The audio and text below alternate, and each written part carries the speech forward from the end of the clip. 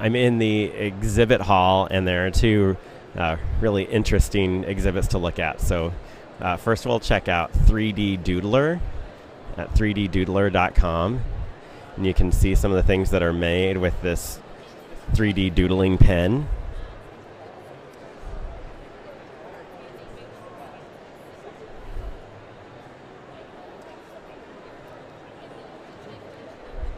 Let's go around here. It's, it's a busy booth because it's a really neat thing.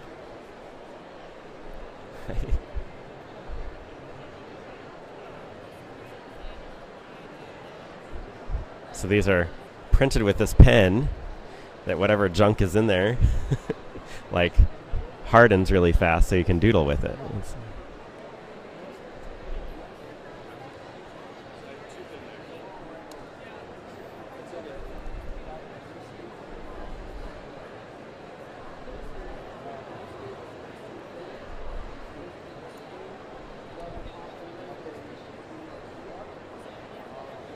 Well, so I'm holding it because the PLA takes a long time. If I was using ABS, it would only be a second or two.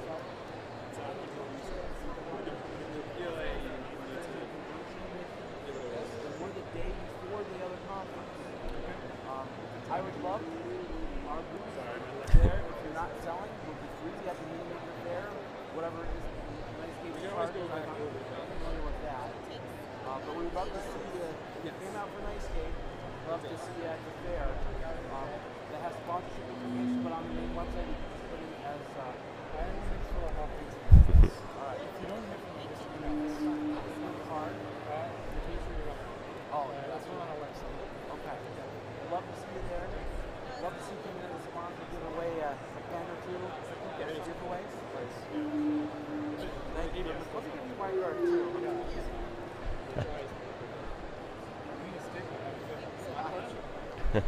Hello. Do you mind being recorded?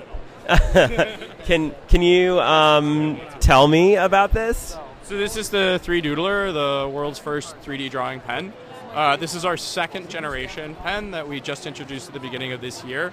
Um, it's 75% smaller, it's easier to use, uh, it uses less power, so we now have accessories like our jetpack, which allows you to do two to three hours of the pen anywhere.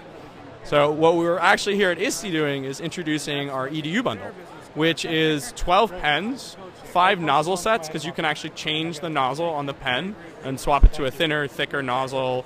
Uh, we also have 12 stands that hold the pen, the 12 power packs, two jet packs, 1,200 strands of plastic, and all for $1,000. So, and you get everything. We also have a whole bunch of STEM curricular material that's available on our website for free. Uh, it will always be free. As the CEO of Wobbleworks, I guarantee that we will never charge for this. We do pay teachers to write this material, so it is good material, and we welcome other teachers to submit material, and we will share that material also for free, because we're all about growing this community. So, yeah.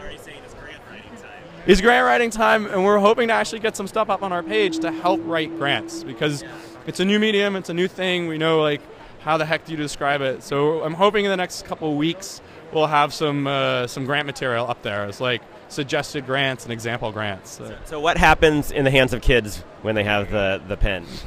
a lot of things happen in the hands of kids. I mean, not only can you like bling out your old school calculator and make it cooler, but you know you can make like anatomy. Um, you can make a cool bus. My personal favorite. This is an ATA. We got a, we got a little,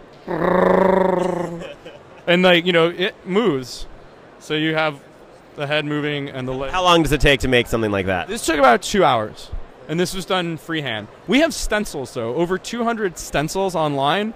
They're just um, PDF files. You print them out. So, for example, like the bus, this is all done on flat pieces of paper. It's then peeled off of the paper, and then you use the 3Doodler to join all the pieces together. So, like something like this is about 15 to 20 strands of plastic. It'll take you two to three hours to really get it together. Um, yeah, but something smaller. So, for example, this is my wallet. Uh, Of course, it's uh, you printed it. I three doodled this. This was a 30. That, that's the verb three doodled. yeah, I three doodled it. and it took me about 30 minutes to three doodle that. And then let me find my iPhone case. This iPhone case was done in about 45 minutes. This is six months old.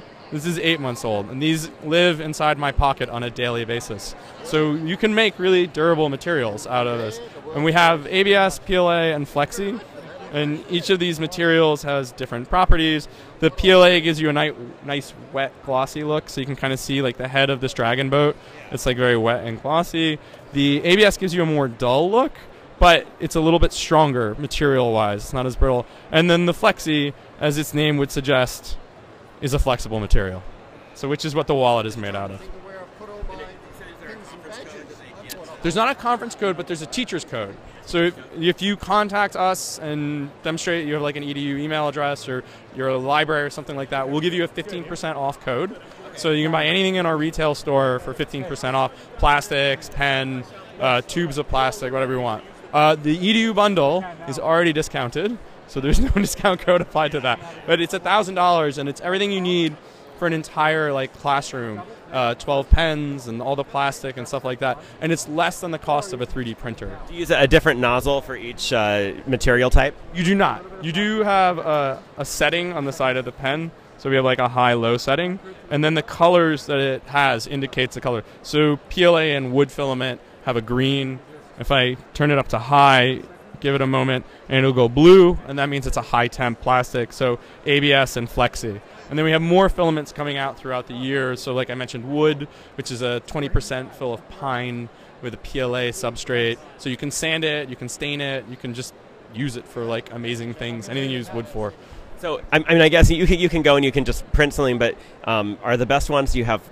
You said you had some plans or or stencils or that, that you can do, or um, is there? How do people like when you're doing a tower like that? It's a stencil. So this is a stencil. So each of the layers was done independently on a flat piece of paper and then joined together. Yeah. So this is done freehand. This is done stencil. So it's just all done on a flat piece of paper. Peel the pieces off, join them together. So yeah. Anything else you want teachers to know about this? Ooh, we have our curriculum material I mentioned. Yes.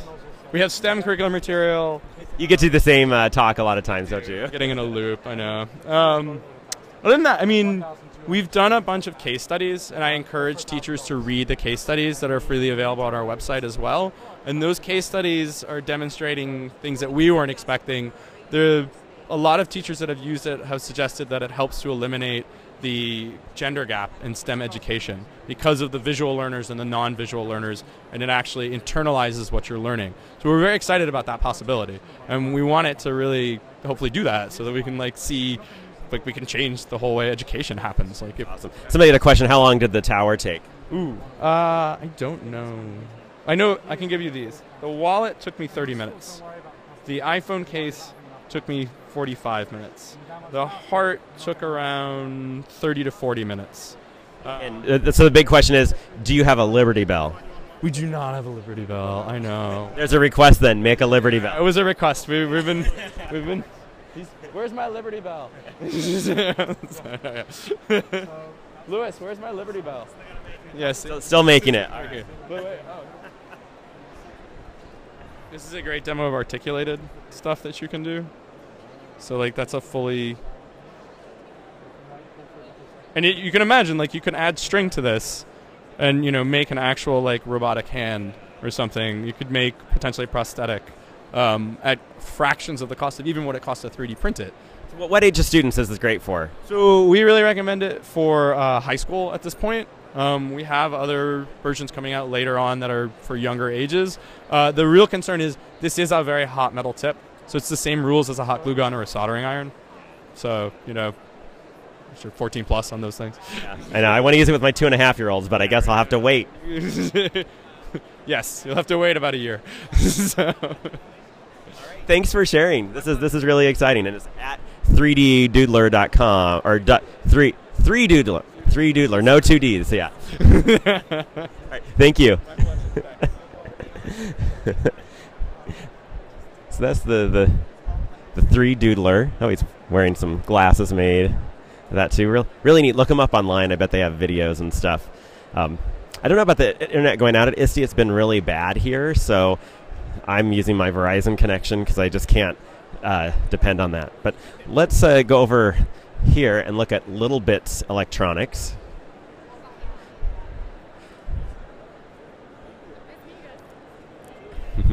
Hello. Do you mind being recorded? All right, you're live on the internet, so people might ask you questions, and uh, they would like to know about littleBits. And would you like mind holding the microphone? Sure thing. Hello, Internet World. Um, we're at ISTE. This is the littleBits booth. We are a company that creates electronic building blocks that lower the barrier of entry for STEM and STEAM. Um, and it's really a tool that can be used K through university. Um, we have kids as young as kindergartner using them to understand grammar, um, to work on their fine motor skills. We have people in elementary school who are using them to do simple projects like understanding bioluminescence. Um, they can create projects that they hack their house and add lights and sensors and, and motors into their high tech 21st century home. All the way through middle school, you can do programming um, and coding with your Arduino module. And the benefit is that you don't have to solder or wire any of the components unless you want to. Um, so it's really just a language of technology that kids can use for whatever it is that they're making or learning. So what's um, so, so how can how, how can it help uh, kindergartners learn grammar? So we've seen people use littleBits to mimic parts of a sentence. So they'll use the blue power bit as an adjective and a green bit as an adverb, and in order to snap them the right way, they have to get the sentence right, and then the circuit turns on. So it's a little program in what, what order things go, should go in before they light yeah. up. Let me. I'll give you a simple demo, and then it'll Okay. make sense. So blue is power, green are Do you want me output. to hold the microphone for you? There? You want to show people. Blue is power, green is output. So just like that, you can have a light or a motor, or you can start using the number bit to data use data collection, or you can switch it to volts and actually see how the electricity is running through your circuit. And if you wanted to add a control, such as a pressure sensor, now just with the touch of your finger, you can change the amount of electricity that's flowing through your circuit. So you can imagine how you could use this, um, both inputs such as sensors or switches, simple on and off switch, like that. Or you could use a dimmer. And then orange are wires, so if you do start building projects, um, these are great for project-based learning. Say you wanted to create a flashlight, so you could turn it on here and your light could be on the front of the, the product here. All right, so people want to want to know about the costs and if there's a starter kit and all that. Do you want to show them this? So we offer a 15% discount for educators. Our three main collections are catered for educators depending on how many students you're working with and what you want to do. If you just want to dip in and do a, a choice time activity, the student set's great for four to eight students. The workshop set is great, um, especially if you're starting in third or fifth grade. It's five, uh, excuse me, 10 sets of 10 modules. So you could do a structured activity or lesson with all of your students. Um, and these are things like button switches, things that you know are foundational in the system and you know aren't going to be too delicate with you know a lot of hands using them. The Pro Library is our biggest collection. It comes with this wall-mounted unit and three tackle box. Yes, and we're giving away the Pro Library today. So if anyone's at ISTE, stop by and get your badge scan. Oh no! well, come on down. No. Um, but everything is available on our website. Um, we do. We have about 400 universities who are using it. Over 2,000 schools. Everything from formal to informal learning. So it's uh, totally adaptable, and kids have a blast. So, so you showed us, I, I guess, something relatively simple down here. What's one of the most complex things you've seen with littleBits? The complexity definitely happens when you start adding the, the programming um, into your into your circuit. So we've seen it in some amazing Arduino projects. Um, we also have this cloud module that connects to the internet, so you can start making IoT devices. So I've seen um, one of the best projects I've seen was a mother and and son in Tokyo who made a, a home alarm device and they added um, music and there was a buzzer. When the kid there was a pressure sensor. When the kid opened the door it would sound in the house. And they made a video for us and at the end it said you can save your family. So, That's awesome. yeah. Um, but a lot of what we do especially on the e-commerce side is we, we don't want people to just buy products for one you know sole purpose when you can create your own and really cater solutions to meet your own life. Yeah. I mean, it's like they, they go together similar to like Legos, right? And but they can do so much more, and they have functionality. Yeah, and, and the system set up so once you have that foundational knowledge, you can build upon it. it. We're really lowering the barrier of entry to all these different subjects. So, music, we have a, a synth kit, we have a keytar over there where you can create your own instruments. We have a collaboration we did with NASA to lower the barrier of entry into science and Earth and space science. Um, and you know, of course, this is perfect for anything that involves design or art or things where you really want to incorporate electronics in a, a new way. And, and um, so, anybody else have questions? There's like 29 people watching. Hi, Which like there. Give her, give her some hearts, some littleBits hearts. They're always, they're always like a few seconds span. There, Aw, there they are. Yeah, There- there'll be more. There they go. yeah, this this is really neat to see. Projects and lessons online too. If you want to see what the community is making, we also have a global chapters program. So if you have a workshop or an event space and you just want people to understand electronics and make and build with them, you know, it doesn't have to be scary. It's a it's a blast.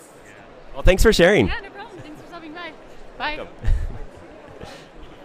Okay, that yeah.